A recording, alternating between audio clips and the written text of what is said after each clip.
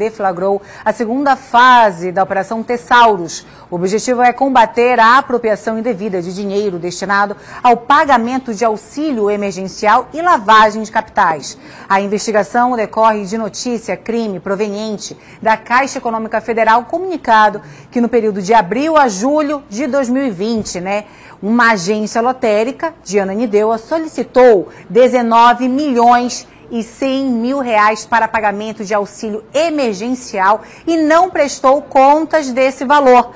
Agora vamos ouvir o que disse o delegado sobre a operação.